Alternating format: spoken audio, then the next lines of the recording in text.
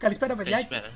Και καλώς ήρθατε σε ένα δεύτερο live stream αφιερωμένο στη νέα ταινία του Broly. Dragon Ball Super Broly, που λέει και ο παραγκος ο πατέρας του. Είμαι μαζί με το Stay Down και μιας Γεια, και παιδιά. την τελευταία φορά που μαζευτήκαμε, πιάσαμε ό,τι υπήρχε σχετικά με την καινούργια ταινία, καιρός να κάνουμε το ίδιο. Πέρασε λίγος καιρός, τα νέα είναι ελάχιστα. Συγκεκριμένα σήμερα είδαμε κάτι έξτρα φωτογραφίες από τον Ναγκαμίνε και κάποια άλλα πράγματα για τα character designs. Δεν ξέρουμε πολλά για την πλοκή, αλλά καλό είναι να τα πάρουμε όλα από την αρχή. Ας δούμε τι μας έχει δώσει η... τι καινούργιο υλικό μας έχουν δώσει για την ταινία και ας δούμε πώς θα προχωρήσει η ταινία. Αρχικά ας αρχίσουμε από τα βασικά.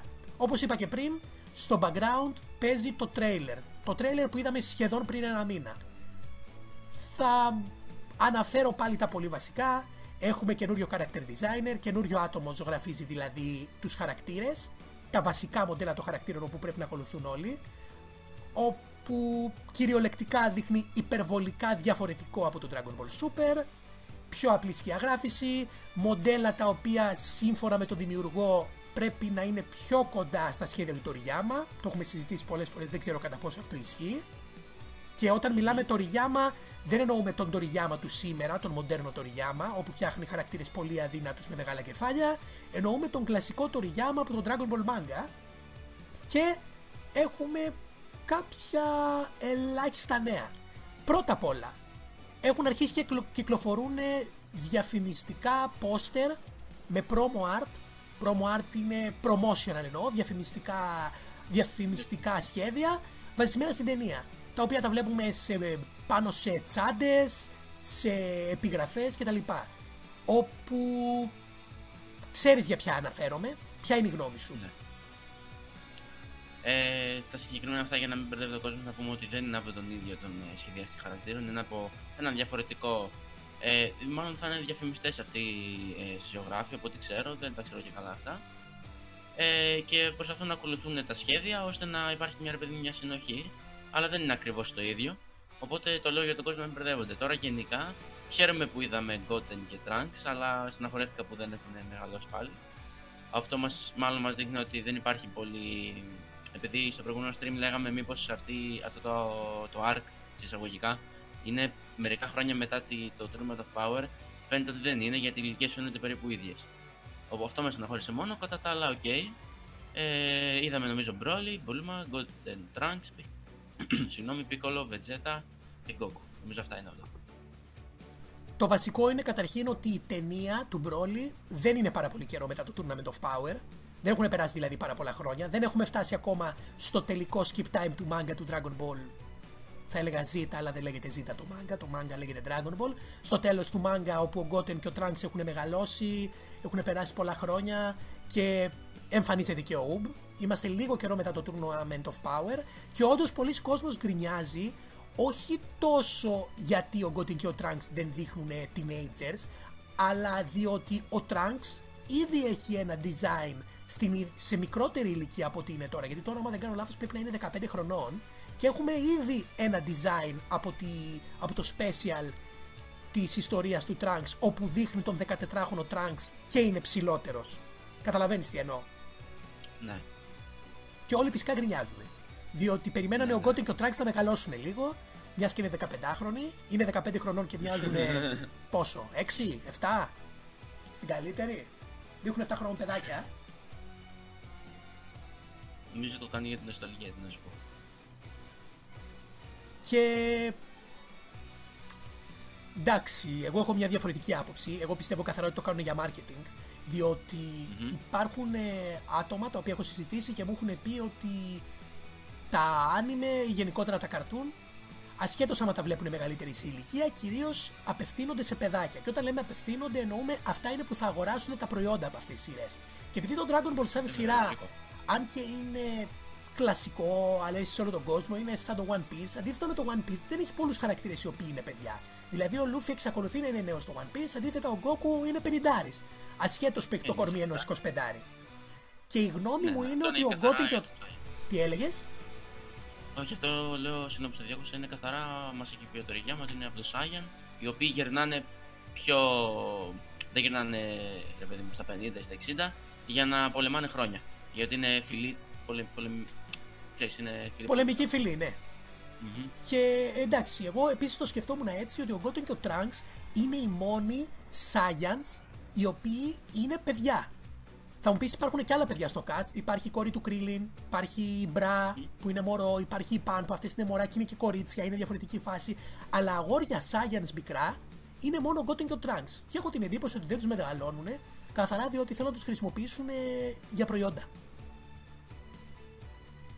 Δεν τους συμφέρει δηλαδή να σκοτώσουν τους δύο τελευταίους μικρούς Saiyans που υπάρχουν. Και όταν εννοώ σκοτώσουν, όχι να τους βάλουν εκτός σειράς, ενώ να τους κάνουν teenagers και συνέχεια ανηλίκου. Διότι αν βγάλεις τον Goten και τον Drax, μετά τι μπορείς να πουλήσεις στα μικρά παιδιά. Α μην ξεχνάμε από την αρχή ότι ο Goten ήταν μια ιδέα ενός editor του Toriyama που του είπε: Βρες μια ευκαιρία να φέρεις πίσω το μικρό Goku. Και αυτό έγινε και στο GT. Το GT ήταν μια αφορμή για να φέρουν πίσω τον μικρό Goku και να ξεκινήσουν πάλι με ένα μεγάλο ταξίδι. Άρα γι' αυτό πιστεύω τους κρατούν μικρούς.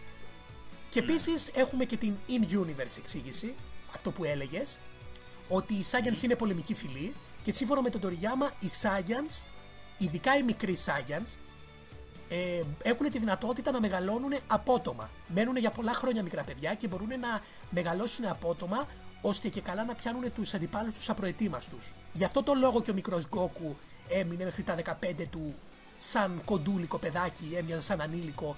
Πάρα πολύ, βασικά ήταν ανήλικο, αλλά έμοιαζε πάρα πολύ μικρό. Ενώ με το που έφτασε 17-18 έγινε αυτόματα, πήρε όλο του τον boy και απέκτησε ενήλικο κορμί. Και καλά λένε ότι αυτό, ο Τωριγιάμα λέει ότι αυτό είναι η, ε, η ικανότητα των Science, επειδή είναι πολεμική φυλή, για να μπορούν να πιάνουν τους αντιπάλους τους απροετοίμαστους, ότι μεγαλώνουν πάρα πολύ γρήγορα.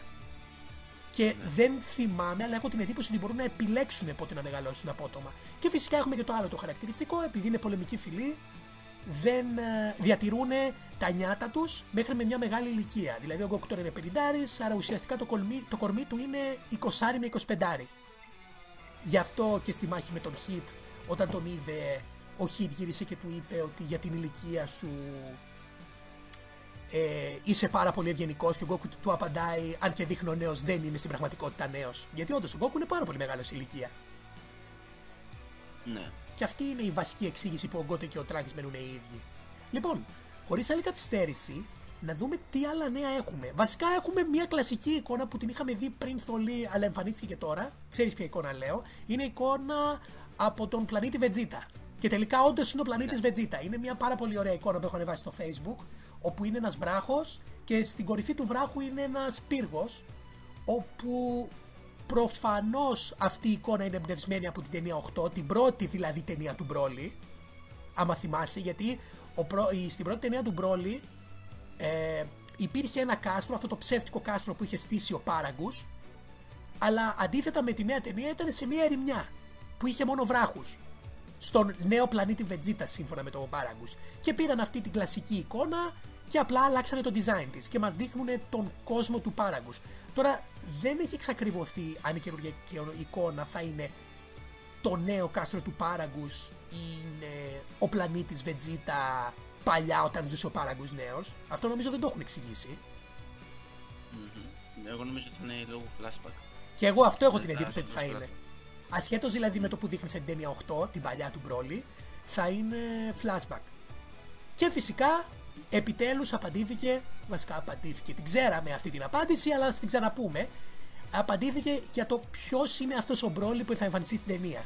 Αυτή είναι η τέταρτη ταινία ή είναι reboot της πρώτης; Ή δεν είναι τίποτα από αυτά; Και τελικά δεν είναι τίποτα από αυτά. Ο μπρολι στην ιστορία του Dragon Ball Super εμφανίζεται για πρώτη φορά. Ο Goku δεν τον έχει ξαναδεί και ο Vegeta. Έχει, έχει, mm. έχει καινούριο backstory και φυσικά έχουμε και το κλασικό ότι δεν έχει γίνει αναφορά στη θρηλυκή μορφή. Πού το βάζεις αυτό; Ναι. Παιδιά, ό,τι πρόμο έχετε δει με τον Broly σαν Super Saiyan με γιγάντιους μύες, η Toy Animation το αναφέρει ως Super Saiyan Broly. Δεν έχει ακουστεί η λέξη Legendary πουθενά. Άρα... Δεν κάνω λάθος. Ναι. Το λένε και full power. Ναι, full power Broly το λένε. Δηλαδή Broly Super Saiyan full δύναμη. Είναι ο Μπρόλι είναι ο Μπρόλι full δύναμη που ουσιαστικά είναι ο ίδιος Μπρόλι με μαύρα μαλλιά, αλλά τα μαλλιά του είναι στε, στέκονται όρθια. Και έχουμε και τον Super Saiyan Μπρόλι με full δύναμη.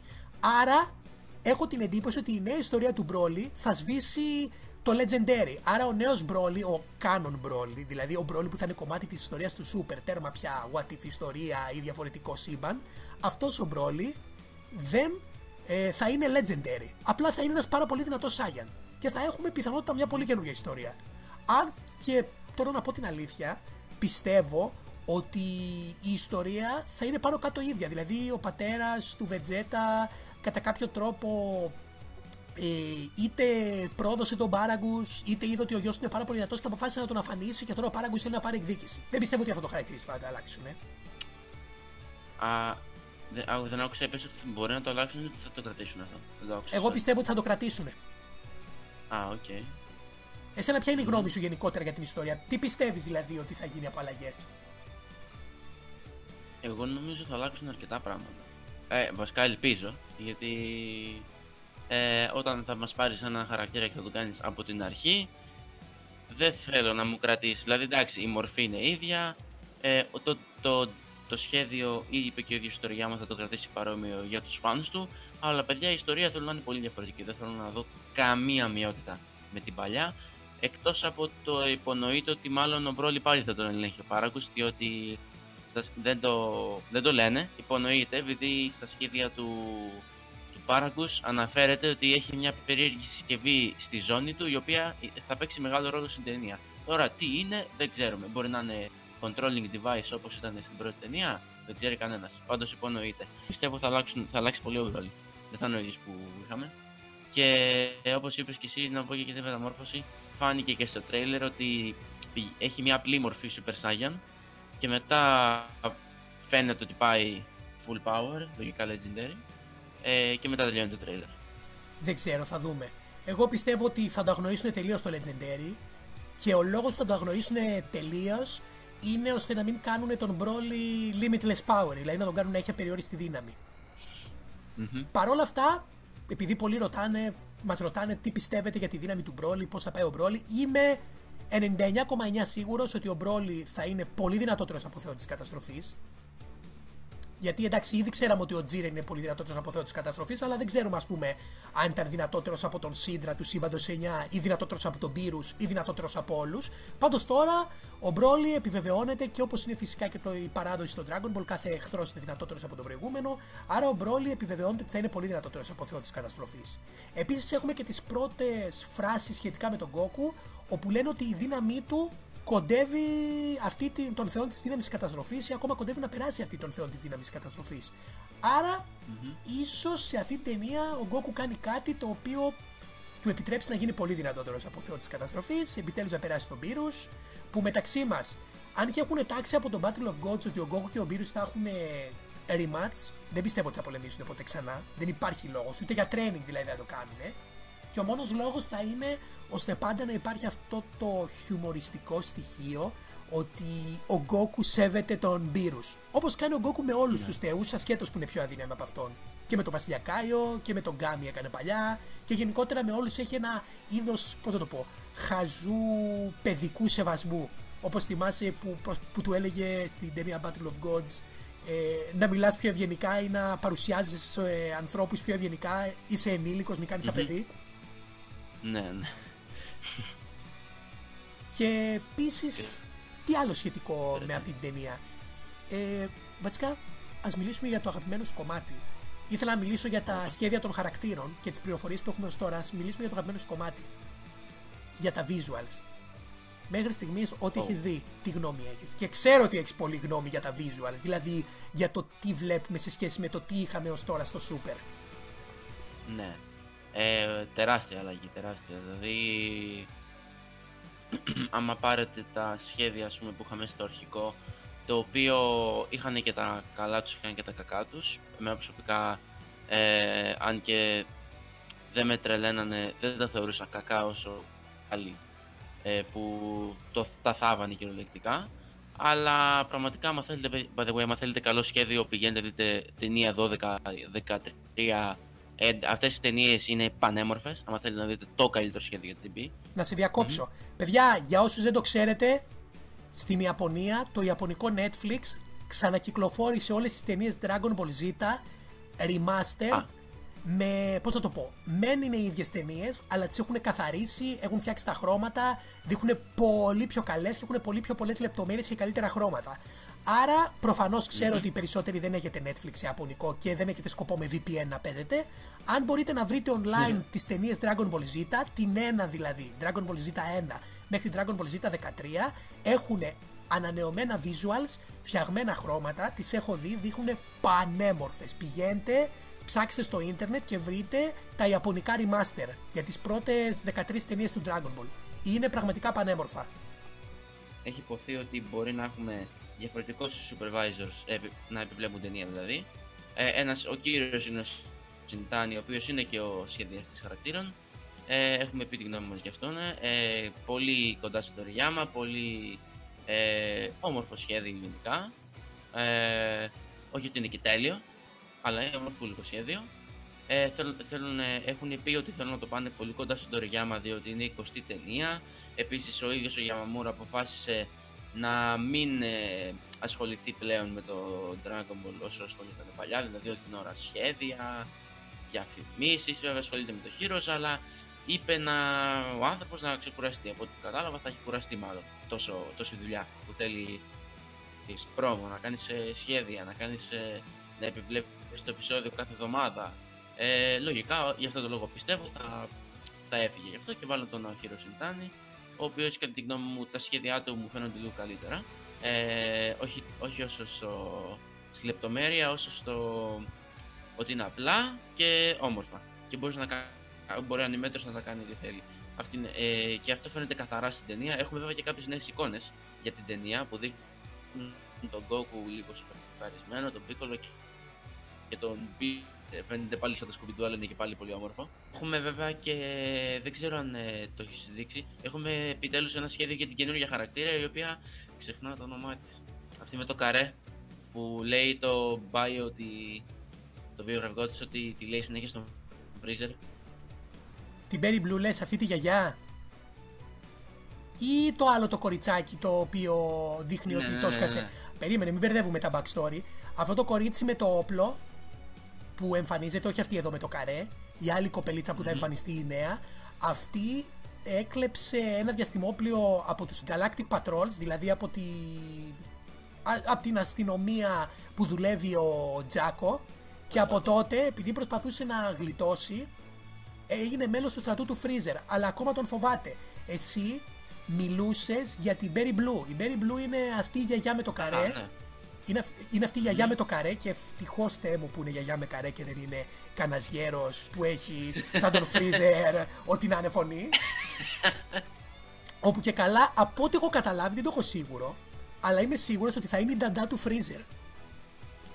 Δεν κάνω πλάκα. Δεν το γράφει το βιογραφικό της. Απλά λέει ότι είναι ένα άτομο το οποίο, αν και υπηρετεί τον Freezer, δεν δέχεται τα λόγια του. Ενώ δεν ψαρώνει από τον Freezer, δεν τον τρομάζει η δύναμή της. Άρα έχω την εντύπωση ότι αυτή η Berry Blue θα είναι η ε, νταντά που μεγάλωσε τον Freezer. Θα δούμε δηλαδή ένα άτομο από το παρελθόν του. Ωραίο. Ωραίο plot point. Δηλαδή ότι ας πούμε, και η Gold ήταν λίγο αδιάφορος και καλά και. Και να δω τι, mm? τι συζητήσεις θα έχουν. Για να δούμε, για να δούμε. Εγώ πιστεύω ότι θέλουν να του δώσουν χαρακτήρα του Freezer. Ναι, γιατί Προσπαθούν δηλαδή να τον κάνουν πιο κωμικό.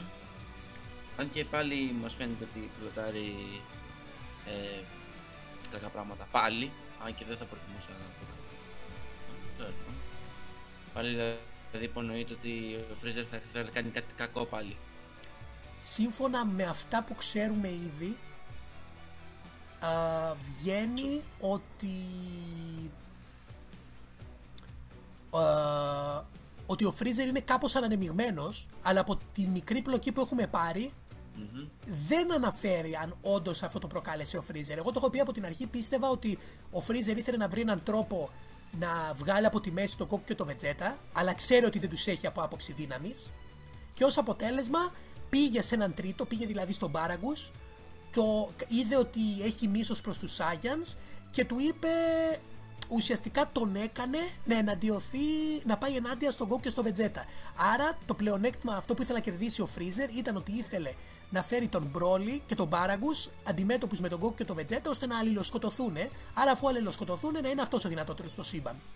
Και γνωρίζει φυσικά ότι ο Beerus και ο Whis δεν πρόκειται να ασχοληθούν μαζί του. Δεν ενδιαφέρονται να ασχοληθούν Μμμ. μαζί του. Μμμ, και τώρα που το ανέφερες, Μμ. πολύ ενδιαφέρον. Ε, θες να τα πούμε με τα, τα βιογραφικά που βγήκαν για τους χαρακτήρες. Ω, μπορείς να αναφέρεις, Σχέδιο- μπορείς να το αναφέρεις. σχέδιο. Συγκεκριμένα παιδιά στο σχέδιο του Whis που δεν ξέρω αν φαίνεται τώρα στην οθόνη θα δείξει μετά. Θα το δείξει μετά. Θα εμφανιστεί τώρα. Οκ. Ε, λέει γενικά το κλασικό βιογραφικό που είχαμε για το Whis, αλλά αναφέρεται ότι λόγω του ότι είναι άγγελος δεν μπορεί να πολεμήσει. Δεν ξε... Κανείς δεν ξέρει γιατί το αναφέρουν αυτό, το αναφέρουν επειδή το έχουμε αναφέρει παλιά. Κάποιοι πιστεύουν ότι θα γίνει κάτι στην ταινία και ο Goku και ο Vegeta δεν θα μπορούν να νικήσουν τον Broly και θα χρειαστούν βοήθεια του Wish. Αλλά... ο Whis θα πει, παιδιά, Πάω πίσω το χρόνο. θα, πει, παι- θα πει ο Wiz, παιδιά, ακόμα άγγελος δεν μπορώ να βοηθήσω, δεν πολεμάω. Και μου φαίνεται ότι θα παιχτεί κάτι τέτοιο. Γιατί ο Broly είχε αναφερθεί ότι είναι πολύ δυνατός σε ένα V-Jump, νομίζω στις αρχές, στις αρχές του μήνα. Ε, νομίζω μιλήσαμε πριν για αυτό. Δεν κάνω λάθος. Ε, γιατί είπαμε πριν ότι ο Broly θα είναι πολύ δυνατός. Οπο- Γιατί το είπαν εκεί στο V-Jump. Οπότε υπονοείται ότι μάλλον ο Goku και ο Vegeta θα χρειαστούν βοήθεια. Γενικά η και ο Wish μάλλον δεν θα βοηθήσει, όπως πιστεύω και ο Beerus δεν θα βοηθήσει. Γενικά δεν βοηθάνε. Μ, Το μόνο, το μόνο που βοήθησε ποτέ ο Beerus ήταν βέβαια ο Ζαμάσου και αυτό μόνο και μόνο επειδή παίζανε με το χρόνο. Δηλαδή το έκανε μόνο και μόνο για τους κανόνες, δεν το έκανε και καλά για τους, ε, για τους φίλους του. Είναι, είναι δύο χαρακτήρες που πιστεύω έτσι το κάνουν για, επειδή είναι πολύ οπί ρε παιδί μου να μην πολεμάνε. Τώρα για να δούμε τους πρωταγωνιστές μας να πολεμάνε, όχι αυτούς. Αλλά πολύ πιστεύω τον Broly και ο Broly ότι μπορεί να, να μην είναι πολύ αδύναμος από τον Beerus, δηλαδή να έχουν μια even μάχη. Αν καταλαβαίνεις τι εννοώ. Εντάξει, προφανώς έχουμε την κλασική δικαιολογία που έχει πει ο Μπύρους πάρα πολλές φορές στο Dragon Ball Super. Δεν αναμεγνυόμαστε σε θέματα των θνητών. Το Ναι, οποίο προφανώς πολλές φορές το έχει αγνοήσει, κυρίως όταν τον συμφέρει να το αγνοεί. Βλέπουμε δηλαδή ότι οι Θεοί έχουν οδηγίες από τον ε, Ζένο, Ζήνο, πείτε τον όπως θέλετε, τον Grand Zeno που λένε στα αγγλικά, ε, να μην ε, αναμειγνύονται με δουλειές ανθρώπων. Παρ' όλα αυτά, όταν αναμειγνύονται θέματα θεών, βλέπουμε ότι πάντα κάπως κάνουν και αυτή την κίνησή τους. Είδαμε δηλαδή στο Tournament of Power δεν πολεμάγανε, αλλά δίνανε οδηγίες στον Goku και στο Vegeta πώς να μαζέψουν τους στρατιώτες τους, πώς να προετοιμαστούν. Είδαμε ότι ο Μπύρου πήγε και σκότωσε το Ζαμάσου, αλλά μετά ο Whis του είπε ότι ήταν λάθος, διότι σκότωσε το Ζαμάσου, αλλά έκανε, δημιούργησε ένα καινούριο σύμπαν. Το οποίο το έκανα θελά του. Μμμ. Βλέπουμε ότι δεν υπάρχουν Ναι. κανόνες σκληροί που σου απαγορεύουν κάτι. Επίσης, στο μέλλον είδαμε ότι ο Ζαμάσου εμφάνισε όλους τους θεούς της καταστροφής, αλλά ο Ζένο δεν έδρασε. Πράγμα που σημαίνει ότι δεν υπήρχε κάποιο άτομο το οποίο να τον ενημερώσει. Μμμ. Άρα, τα περισσότερα, οι περισσότερες συμφωνίες που υπάρχουν μεταξύ αυτών των χαρακτήρων είναι στο μιλητό. Δεν έχουν κάποια, πώς να το πω, δεν υπάρχει κάποιο σύστημα δηλαδή με το που γίνει κάτι αυτόματα ε, να ενημερωθούν. Και αυτό πιστεύω ότι είναι και το σημαντικό. Είναι, από τη μία είναι λίγο αστείο, διότι βλέπεις ότι είναι θεοί και δεν έχουν, είναι ανοργάνωτοι, και από την άλλη βλέπεις ότι σου δίνει πάρα πολλές ευκαιρίες ώστε τρίτοι χαρακτήρες, πιο μικροί, κυρίως θνητοί, να μπορούν να κάνουν ό,τι γουστάρουν. Και αυτό είναι και το πλεονέκτημα που έχουν οι θνητοί ενάντια των στον θεών. Οι θεοί δεν αναμειγνύονται σε θέματα θνητών. Άρα ένα άτομο σαν τον Μπρόλι ή σαν τον Τζίρεν, οι οποίοι είναι παντοδύναμοι και σχεδόν ή κοντράρουν ή νικούν θεού καταστροφής, ε, είναι ελεύθεροι να κάνουν ό,τι θέλουν και να δυναμώσουν όσο θέλουν. Λοιπόν, τι άλλα έχουμε να πούμε για τα designs των χαρακτήρων; Ποια designs έχουν τις μεγαλύτερες διαφορές; Κατά τη γνώμη μου είναι του Goku. Σχολίασε γιατί ξέρω ότι αυτό το design το λατρεύεις. Ε, γενικά το σχέδιο πανέμορφο. Ε, ειδικά μου αρέσει πολύ. Δεν ξέρω αν το έχεις βάλει να φαίνεται. Νομίζω το έχεις βάλει. Να φαίνεται και όλες οι μορφές του Goku. Από Super Saiyan, Super Saiyan Θεός και Super Saiyan Blue.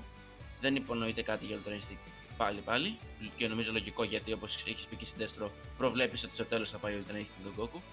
Ε, και εγώ το πιστεύω να σου πω την ίδια. Ε, Γενικά πανέμορφο σχέδιο μου αρέσει πολύ το ότι αυτή η λεπτομέρεια το ότι ο θεός Goku είναι πάρα πολύ αδύνατος και ο Σιντάνι έχει βάλει αυτή τη λεπτομέρεια που προσχωρήσαμε για τη λέξη γαμάει το ότι τα ρούχα φαίνονται πολύ. Επειδή ο Γκόκου φοράει ρούχα ανάλογα με το σώμα του, όταν γίνεται θεό και είναι πιο αδύνατο, τα ρούχα του πέφτουν λίγο μεγάλα. Και σε προηγούμενα σχέδια όπω του Γιαμαμούρο και του Τοριάμα δεν, δεν φαίνεται πολύ αυτό. Μπορεί να πιστέψει. πάνω του. Μπορεί να πιστέψει ότι όταν το είδα και αυτό με σοκ. Δεν μου αρέσει ο καινούριο Super Saiyan God, να πω την αλήθεια. Αλλά μου αρέσει η λεπτομέρεια ότι με το που γίνεται Super Saiyan God είναι λε και τα ρούχα του. Λες, επειδή αδυνατίζει, τα ρούχα του, του πέφτουν μεγάλα. Ναι, ναι, λε και έχει φρέσει και στέλνει στα Κάτι τέτοια φάση. Ναι. Του πέφτουν λίγο χοντρά. Τέλος πάντων, αυτή η λεπτομέρεια μου αρέσει πάρα πολύ. Να σου πω την αλήθεια, και εμένα το πρόσωπό του δεν με ενθουσιάζει όπως το έχει γράψει. Το ζωγραφίζει, συγγνώμη. Αλλά μου αρέσει που, όπως έχω πει. Δεν μου αρέσει. Λοιπόν, καλό Super Saiyan Goku ο απλός το λατρεύω, μου αρέσει πάρα πολύ. Εσύ δεν ξέρω αν σ' αρέσει εσένα. Μία μικρή λεπτομέρεια την οποία την έχω δει μόνο στον Goku, τον ε, God και τον Blue. Είναι ότι αντίθετα με τον απλό Super Saiyan έχουν γύρω τους μία μικρή λάμψη. Δεν ξέρω αν όντως θα το έχει και ο Super Saiyan ο απλός ίσως να το έχει και δεν φαίνεται πολύ καθαρά. Πάντως για κάποιο λόγο ο God και ο Blue έχουν μία ελάχιστη λάμψη γύρω τους. Και ελπίζω να κάνουν κάτι τέτοιες μικρές λεπτομέρειες ώστε να δείχνουν οι θεϊκές μορφές λίγο καλύτερες από τον βασικό Super Saiyan. Και επίσης ναι. έχουμε Πάντως, ε, και την έλλειψη, γιατί αυτό το είδα και στο τρέιλερ, έχουμε την έλλειψη CGI effects στις άβρες των Super Saiyan Blue και God. Δεν έχουμε CGI. Όλα είναι ζωγραφιστά στο χέρι. Ε, βέβαια πιο δύσκολο, αλλά αφού μιλάμε για ταινία, η παραγωγή είναι μεγάλη, οπότε δεν μας αγχώνει αυτό. Θα μας αγχώνει πιο πολύ άμα είμαστε σε σειρά. Οπότε δεν, είναι, δεν έχει λόγο να φοβόμαστε κάτι. Και εγώ προτιμώ να σου πω την αλήθεια τις άβρες οι οποίες είναι ζωγραφημένες στο χέρι και όχι τη CGI. Δηλαδή, κάτι άκυρο να ξεφύγουμε. Αν παρατηρήσετε στο επεισόδιο 130 που ο Goku έχει πάντα άβρα CGI, σε κάποιες φάσεις που πετάει, παιδιά, φαίνεται λίγο άθλιο το CGI μαζί με τον Goku. Θέλεις να μιλήσουμε για κακό CGI. Κάνει πολύ το φιλαθόλο δηλαδή. Θες να μιλήσουμε για κακό CGI. Παιδιά, ο Blue Evolution Vegeta, η άβρα του, όχι εξωτερική, αυτό το εσωτερικό το λευκό με τα στρασάκια που έχει μέσα, είναι όλο CGI. Και άμα δει το Evolution Vegeta είναι λες και στο κέντρο του έχουν πάει και έχουν ανεβάσει τη φωτεινότητα τέρμα. Για, γιατί σε κάποια σημεία δείχνει υπερβολικά θολός. Ναι, ναι. Και αμφιβάλλω ότι στα DVD αυτό θα το φτιάξουν. Δεν πρόκειται να το φτιάξουν. Μείναμε με αυτό. Τα CGI είναι ωραία άμα δουλευτούν καλά. Δηλαδή το επεισόδιο 131 και το 130 σε κάποια σημεία μου άρεσε η άβρα του Goku. Και γενικά το Ultra Instinct δείχνει ωραίο με CGI effects στις άβρες. Αλλά ο Vegeta, ο Blue Evolution, πολύ κακή επιλογή.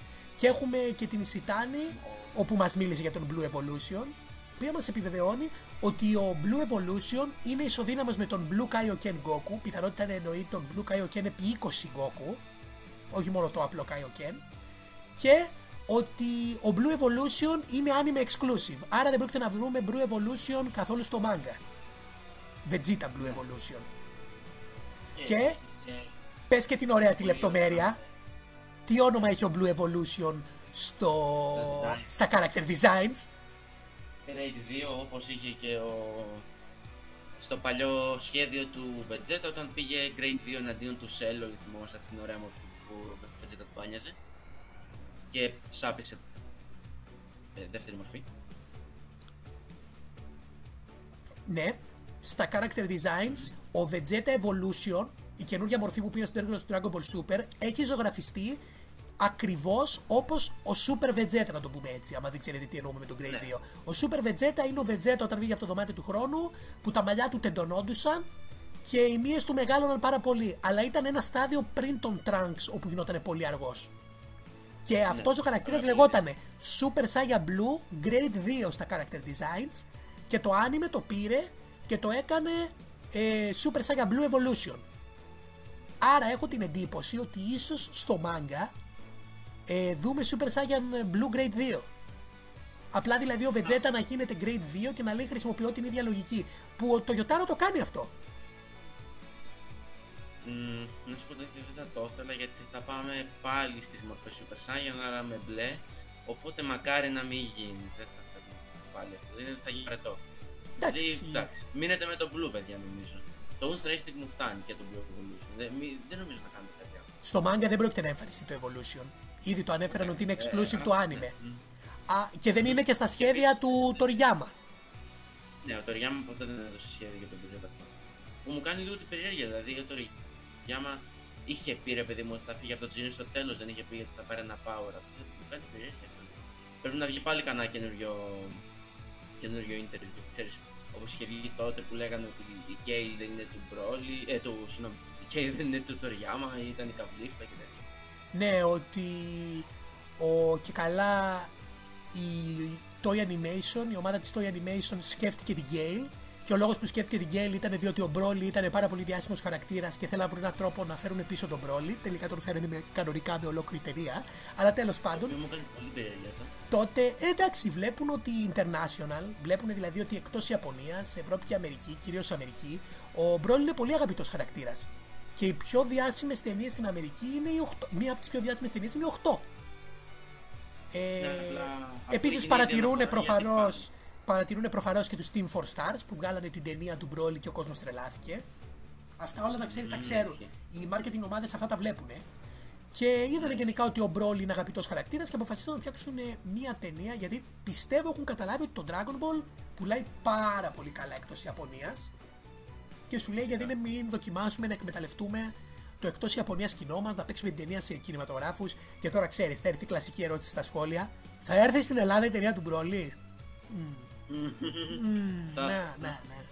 Ο καινούριος Μπρόλι, όπως είπαμε, θα είναι σε δύναμη πολύ δυνατότερος από θεό της καταστροφής. Έχουμε ότι ο Γκόκου ακόμα δεν είναι δυνατότερος από θεό της καταστροφής και πιθανότατα αυτό βασίζεται στη μορφή του σαν Super Saiyan Blue, όχι στο Ultra Instinct. Άρα δηλαδή αυτό που λέγανε η περιγραφή ο Γκόκου προσπαθεί να φτάσει στη δύναμη των θεών και δεν την έχει φτάσει ακόμα αλλά κοντεύει που ακούστηκε για την καινούργια ταινία αυτό ε, πιστεύω βασιζόταν στο Super Saiyan Blue. Και πολλοί ρωτάνε αν θα εμφανιστεί ο Ultra Instinct Goku στην ταινία. Είμαι 99,9% σίγουρο ότι θα εμφανιστεί. Και ο μόνος λόγος που δεν εμφανίζουν character design για τον ε, ε, Goku Ultra Instinct είναι ότι δεν θέλουν να το σποιλάρουν. Γιατί αν ναι. εμφανιστεί ο Goku Ultra Instinct, ξέρουμε ότι η ταινία θα τελειώσει με τον Broly να χάνει. Ναι, ισχύει βασικά εσύ πίστευες ότι αυτή είναι η πρώτη ταινία Broly και θα παιχτούν κι άλλες; Ε, ο, ναι, νομίζω ο Broly δεν ήρθε για να. Δεν ξέρω για ταινία. Πολυμπόρη Arc. Α, γιατί ε, πάντα υπάρχει υποψία για καινούργια σειρά. Με τον Πάταγο που έκανε το Super. Αλλά ναι, δεν πιστεύω ότι φέραν ολόκληρο Broly πίσω για να χάσει εύκολα. Δεν νομίζω να εγώ πάλι πιστεύω ότι ήρθε κυριολεκτικά για να χάσει και απλά πιστεύω ότι τεστάρουν τα νερά γιατί θέλουν να δούνε πώς να το εξηγήσω, πού να κατευθυνθεί η ιστορία. Δυστυχώς, όπως πολλά άλλα universe, όπως ας πούμε του Star Wars, είναι ιστορίες οι οποίες αν και έχουν πει πάρα πολύ μικρές ιστορίες και πολλοί λένε «Ω, φαντάσου τι uni, το universe του Star Wars έχει φανερώσει ενώ στις ταινίες πάρα πολύ λίγα στοιχεία. Άρα φαντάσου αν βγουν εκτός να ψάξουν σε άλλα universes είναι αδύνατον. Και το ίδιο σημαίνει και με τον Dragon Ball. Το Dragon Ball, ε, όλη του ιστορία είναι σε ένα πάρα πολύ μικρό universe. Το universe 7. Δοκιμάσανε να κάνουν κάτι έξυπνο στην ταινία Battle of Gods, που μπράβο τους, να δημιουργήσουν και άλλα σύμπαντα. Και μετά πήγανε με το Tournament of Power και σε ένα arc μας δείξανε όλα τα σύμπαντα και δείξανε επίσης ότι όλοι όσοι είναι σε αυτά τα σύμπαντα είναι πιο αδύναμοι από τον Goku και τον Vegeta. Πλην ναι. του Jiren προφανώς. Άρα δηλαδή, yeah. πώς θα το πω, κάνανε μεγάλο λάθος που, ε, που κάνανε κάτι τέτοιο. Περιορίσανε πάρα πολύ τα σύμπαντά τους. Άρα δεν ξέρω τι θα κάνουν. Και αυτό που κάνουν τώρα με τον Μπρόλι είναι ότι πιστεύω ότι τεστάρουν τα νερά για το πώς να εξελίξουν την ιστορία. Δηλαδή, να μιλήσουν για άλλους Saiyans. Θέλουν να δουν τι θέλει ο κόσμος. Καλά, προφανώς όλοι οι Dragon Ball fans παρακαλάνε για άλλους Saiyans. Το βλέπουμε, διότι πάντα όλες οι ιστορίες αφορούν Saiyans από πού να ξεκινήσω; Το Battle of Gods ήταν για τον Saiyan God. Το Resurrection F ήταν για εκδίκηση από τους Saiyans. Η ιστορία του Trunks ήταν για έναν κακό Goku Saiyan. Ο Copy Vegeta ήταν προφανώς για έναν κακό Vegeta, έναν κακό Saiyan. Και το Tournament of Power πάλι είχε βάσει όλους αυτούς τους καινούριους Saiyans που εμφανίστηκαν.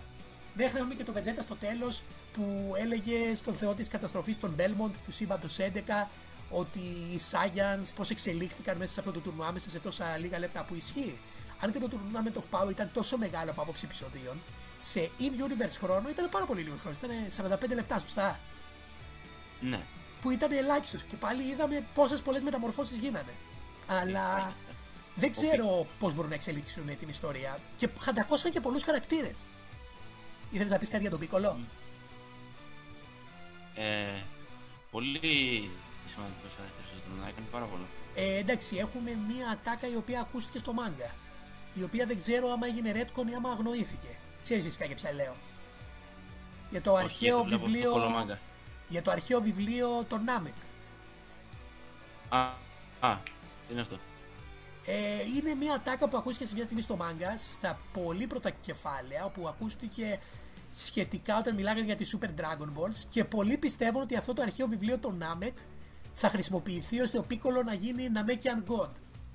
Και καλά να έχουμε έναν ναι, μη Saiyan χαρακτήρα, ο οποίος φτάνει σε δυνάμεις του Saiyan χαρακτήρες. Πράγμα που δεν έγινε ποτέ. Ε. Και για κάποιο λόγο έχω την εντύπωση ότι το βιβλίο των Namek, του Namekians έγινε ψιλορέτκον, με αποτέλεσμα να μην χρησιμοποιηθεί. Όπως ακούστηκε, έτσι χάθηκε. Όπως και άλλος ένα χαρακτήρας που είναι Redcon, θα το πούμε μετά. Ο Βιτζίτο. Όχι ο Βιτζίτο. Α, του εδώ καινούριο. Που, είναι, που φτιάξει τα σκάουτερ. Ναι, ναι, ναι, ναι, ναι. Α μιλήσουμε για μια μικρή λεπτομέρεια. Μπράβο που μου το θύμισες. Γιατί έχουμε. Πάντως, να τελειώσουμε. Ποιο; Με το, ε, δεν είπαμε το, νομίζω δεν είπαμε το βιογραφικό του Goku. Το βιογραφικό του Goku. Εντάξει, δεν έχουμε κάποια ιδιαίτερη πληροφορία για τον Goku, ότι απλά Α, ότι ε, προπονείται για να γίνει ε, δυνατότερος. Δεν Βλέ... τίποτα άλλο. Μα, πραγματικά, mm-hmm. τίποτα ιδιαίτερο. Αυ, όλα λέει σχεδόν τα ίδια ως τώρα και η μόνη λεπτομέρεια είναι ότι ο Goku συνεχίζει να προπονείται ώστε να δυναμώσει και να γίνει καλύτερος. Αυτό. Αν και τεχνικά, αν το καλοσκεφτούμε, ο Goku δεν πολέμησε όλους τους πολεμιστές όλων των συμπάντων, διότι ξέρουμε ότι κάποια συμπάντα δεν παίρνουν κανένα. Μπορούμε όμως να υποθέσουμε ότι υπάρχουν δυνατοί πολεμιστές εκεί. Οπότε ο Goku νομίζω εκεί ποντάει. Ότι μπορεί να βρει και άλλους πολεμιστές σε άλλα σύμπαντα. Αυτή είναι μια καλή λεπτομέρεια. Αυτή είναι μια ναι. καλή λεπτομέρεια που αγνοούμε. Οπότε, ναι. Καλά, γενικά ο Goku ψάχνει πρόφαση να προπονηθεί. Οπότε αυτό με το και καλά θα βρω και άλλους πολεμιστέ είναι λίγο βλακή. Γιατί ο Goku και να έχουν πεθάνει όλοι παρέτε προπονείται. Mm. Αλλά, α, αλλά μ' αρέσει που το αναφέρουν. Οπότε ναι, όταν θα βρουν ότι και επίσης τι μου αρέσει, παρατηρώ, παρα, παρατηρήσω ότι. Δεν ξέρω γιατί το κάνω, αλλά παρατηρήσω ότι ο Goku ψάχνει πολεμιστές για άλλα σύμπαντα και να τον έχει κάτω από το μύδι του, τον Broly. Ο οποίος από ό,τι φαίνεται πάντα είναι στο σύμπαν 7 και δεν έχει φύγει. Εκτός αν μας πούνε ότι πήγε σε άλλο σύμπαν. Αλλά. Αυτό κρατάω μια πισινή. Broly... Αυτό κρατάω μια πισινή, ναι, γιατί okay. μπορεί να βγει πολλά. Αν υποθέσουμε όμω ναι, αν υποθέσουμε όμως ότι ο Broly είναι από το σύμπαν 7 και τόσο καιρό ήταν εκεί, ε, θα μου αρέσει αυτή η λεπτομέρεια ότι και καλά ψάχνουν πολεμιστές από άλλα σύμπαντα, αλλά υπάρχει ήδη ένας Σάγιαν ο οποίος ήταν κάτω από τη μήνυ τους εδώ και 40 χρόνια, ξέρω εγώ και βάλε. Μου αρέσει πάρα πολύ αυτό να γίνει. Κάποιος λέει και καλά για ποιο λόγο ο Πάραγκους φοράει ποδιά, λέει στα character designs μαγειρεύει. Φίλε μου δεν φοράει ποδιά. Ο Πάραγκους αγνήσιος Ελληνάρας φοράει τη φουστανέλα του. Πραγματικά δεν ξέρω γιατί του φοράνε φούστα. Ίσως κατουργέται και δεν ε, θέλουν να φέρουν τα παντελόνια του. Ε, Μπορεί. Ναι, εντάξει, είναι παππούλης Είναι παππούς. Αντίθετα με την προηγούμενη ταινία που τον είχαν κάνει, εντάξει, κάπως νέο, ο Πάλαγος πρέπει να είναι άνω των 100 χρονών για να έχει γεράσει τόσο πολύ. Μπορεί.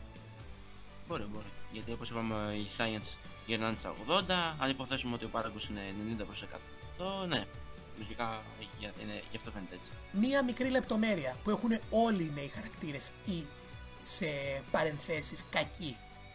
Όλοι το ίδιο στυλ πανοπλίας. Που αυτή η καινούργια μαυροπράσινη πανοπλία είναι η νέα πανοπλία του Freezer. Του στρατού του Freezer. Ναι. Άρα ο Πάραγκου και ο Μπρόλι συμμαχούν με τον Freezer. Ένα το κρατούμενο. Δεν το έχουν αναφέρει, αλλά ναι. είμαι σίγουρος. Ένα το κρατούμενο. Και φαίνεται και σε μια... στο τρέλερ σε μια φάση.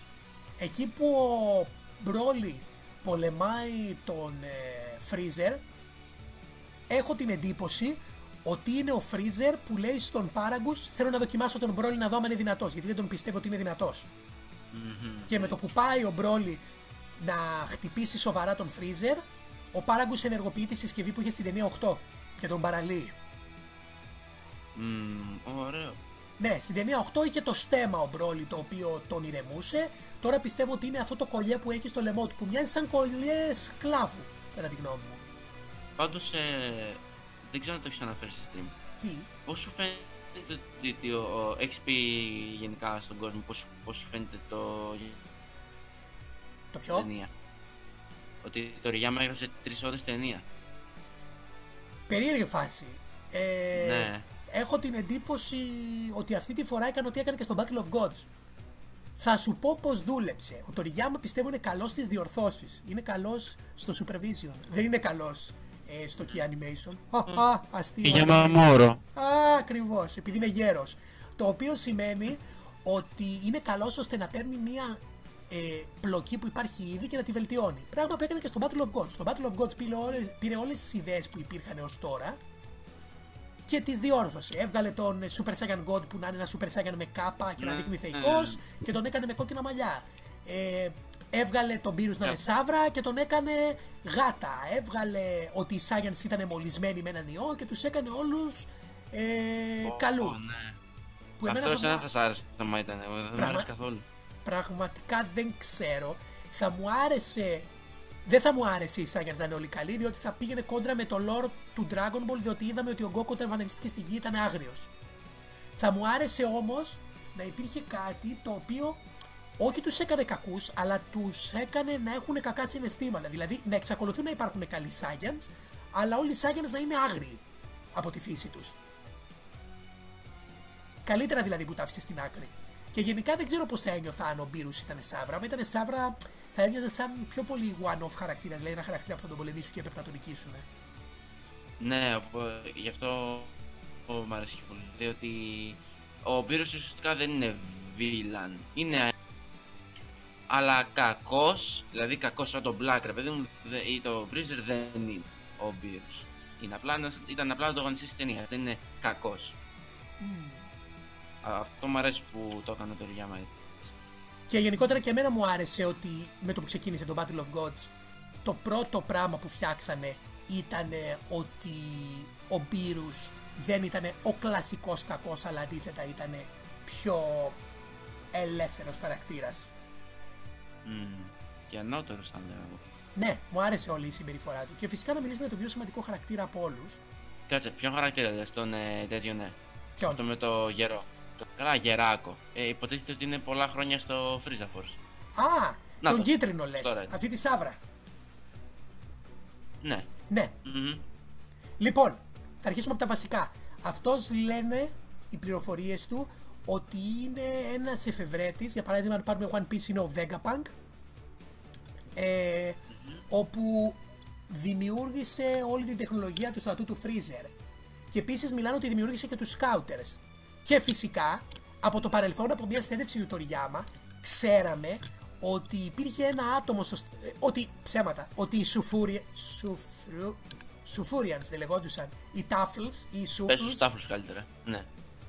ε, όπου είναι ο λαός που ζούσε στον πλανήτη Βετζίτα πριν έρθουν οι Saiyans και τον κυριεύσουν, που είχαν πολύ ανεπτυγμένη τεχνολογία, είχαν φτιάξει τους Scouters. Και συνέχεια από αυτούς πήρε την τεχνολογία ένας επιστήμονας του στρατού του Freezer και άλλαξε τους Scouters για να ταιριάζουν, πώς να το πω, στις ανάγκες του στρατού του Freezer. Και τελικά μαθαίνουμε ότι αυτός ο τύπος είναι αυτός εδώ πέρα, αυτή εδώ η κίτρινη σαύρα. Ναι. Και- Αν και ε, είναι κάποιος, κάποιο retcon γιατί δεν έχει καν το ίδιο όνομα.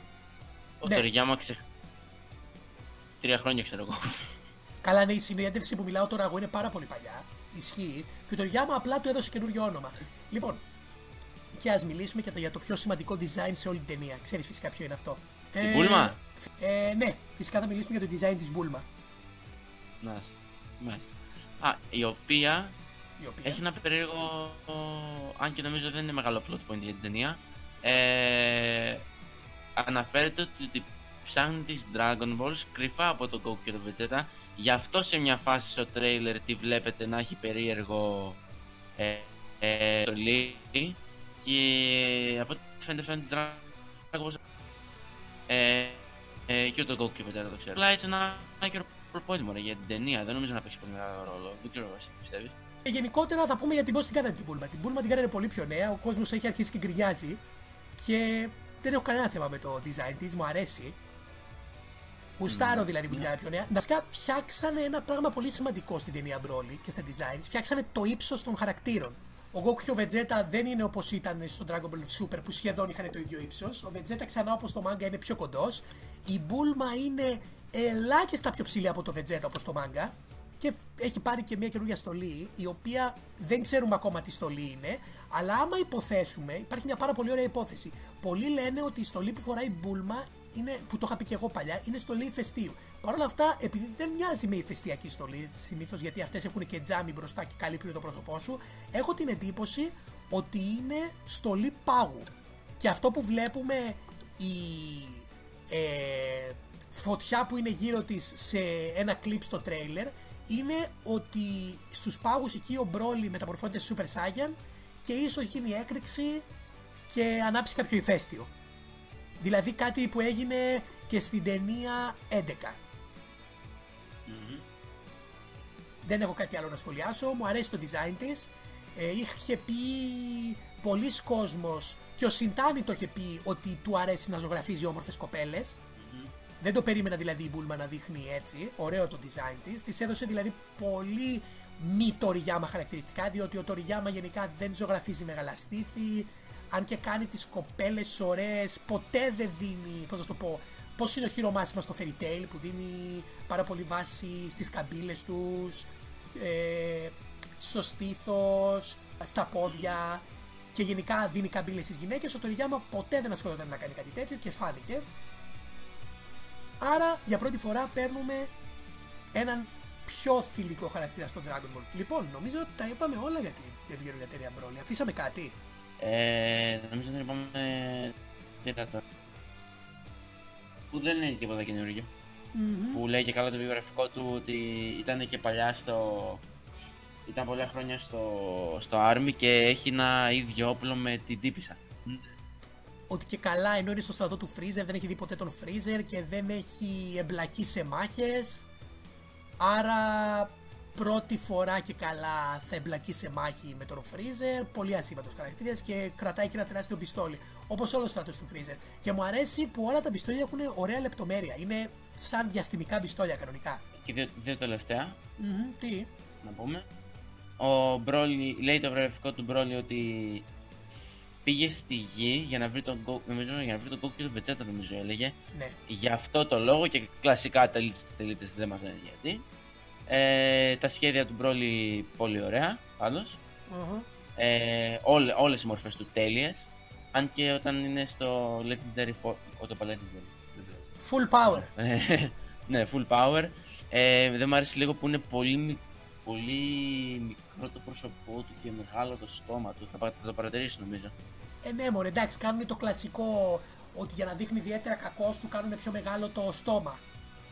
Ναι. Για να κάνει και αυτά τα περίεργα χαμόγελα και να λέει I'm the devil. Broly no monster, Broly is the devil. Ναι, για να λένε τέτοια. Και. Α, έχουμε και το σχέδιο του Freezer, ο οποίος. Ε, ε, εντάξει. Πάλι. Ναι. Ο... Ωραία, μου αρέσει. Μα αν και. Ε, Έχω πολλά παράπονα από τα πρόσωπα. Στα character designs όλοι οι χαρακτήρες δείχνουν περίεργοι. Πλην του στρατού, τους κλασικούς χαρακτήρες, όχι τους καινούριους. Καινούριου δεν μπορούμε να τους συγκρίνουμε. Αλλά παρατηρήστε, ναι. το πρόσωπο του Μπύρους, το, ο Πίκολο δείχνει σχεδόν ίδιος. Ε, ο Γκόκου σταμάτησε να δείχνει σαν τον Λούφι πια, ευτυχώς. Αλλά παρατηρήστε, τον Super Saiyan Goku, το Super Saiyan Vegeta δείχνουν πολύ περίεργοι. Δεν δείχνουν σαν χαρακτήρες του Τοριγιάμα. Ενώ όταν τους κοιτάς από το πλάι, όχι μπροστά, στο, όταν τους κοιτάς από μπροστά δείχνουν μια χαρά. Αλλά για κάποιο λόγο όταν τους κοιτάς στο πλάι δείχνουν πάρα πολύ περίεργοι. Τα μάτια τους είναι τετραγωνισμένα. Καταλαβαίνεις τι εννοώ; Όπως του Freezer. Ο, ο Freezer για μένα είναι πραγματικά το χειρότερο design του Σιντάνε. Είναι πάρα μα πάρα πολύ στρογγυλεμένος. Έχει, ειδικά στην golden μορφή του, για κάποιο λόγο μοιάζει με μαϊμού. Μη μου πει, δεν ξέρω γιατί. Και γενικότερα δεν τον συμπάθω πάρα πολύ. Αυτά για τα character designs. Δεν πιστεύω ότι υπάρχει κάτι άλλο το οποίο, μπορούμε, το οποίο μπορώ να σχολιάσω. Δεν ξέρω για εσένα. Εγώ, εγώ αντιθέτως λατρεύω τον Freezer ο οποίος έχει συγκεκριμένα μάτια. Δεν ξέρω γιατί πάντα μισώ συγκεκριμένα μάτια, ποτέ δεν τα ακούσα. Δηλαδή, όσες φορέ. Στο έχω πει και σένα. Το ότι όσες φορές βλέπω συγκεκριμένα μάτια γενικά από λάθη ή γενικά σε σχέδια, σε επεισόδια δικά στο Super, πάντα σου λίγο ότι είναι γουτκού. Αλλά για κάποιο λόγο αυτός ο Freezer μου αρέσει πάρα πολύ. Μ' αρέσει το σώμα του, πώς τον έχει γραφήσει, μ' αρέσει. όταν είναι golden. Μου αρέσει το smirk αυτό που κάνει που κάτι ωραίο. Δεν ξέρω γιατί μου αρέσει τόσο πολύ. Θα κάνω μια πρόβλεψη και θα πω ότι στο καινούριο V-Jump που όλοι ξέρουμε το V-Jump ε, δείχνουν κάποια σχέδια για να προμοτάρουν την ταινία και γενικά ε, καινούργια νέα. Πιστεύω το καινούριο V-Jump σε 8 μέρες που είναι, νομίζω να την 9, θα δείξουν σχέδιο του Gohan που όλοι παραπονιέται που τον Gohan. Αν και νομίζω μπορεί να μην γίνει να είναι καν στην ταινία, αλλά εγώ πιστεύω θα, θα δούμε σχέδιο, θα είναι κομπάσο δηλαδή. Και εγώ πιστεύω ότι θα δείξουν τώρα στις 18 με 21 του μηνός βγαίνει το καινούριο VJam, το περιοδικό. Άρα θα μας δείξουν πάρα πολλά πράγματα. Από μαζί και στο Extreme και από Stay Down. Γεια σας!